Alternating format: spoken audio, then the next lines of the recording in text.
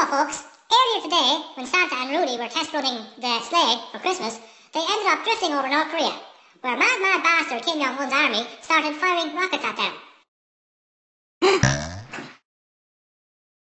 Hmm. Then,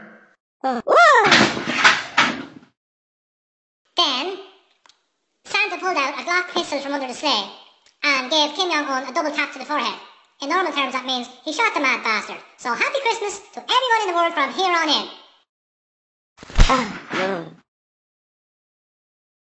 Happy Christmas, folks.